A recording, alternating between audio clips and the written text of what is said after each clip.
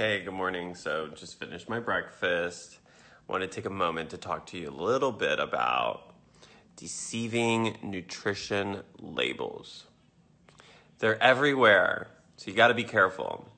So, let's say you're at the grocery store, you're looking and comparing the lowest calorie for two different types of waffle mix, right? So, one box says 150 calories it's big and bold right on the label. And then the other one says 90 calories.